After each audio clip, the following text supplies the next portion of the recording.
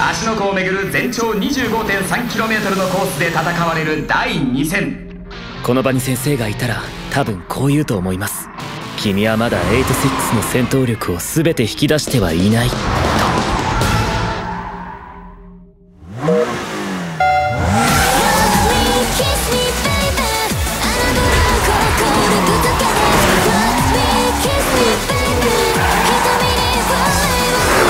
2戦目にして早くも彼方に負けてしまうのか本気にはならない。だがトップタイムは誰にも譲らない。ポール・リカールとホッケンハイムの続きは足の子でやろうぜ。Rock me, kiss me, baby このアートなスピードスターたちが MFG の勢力図を塗り替えるのか？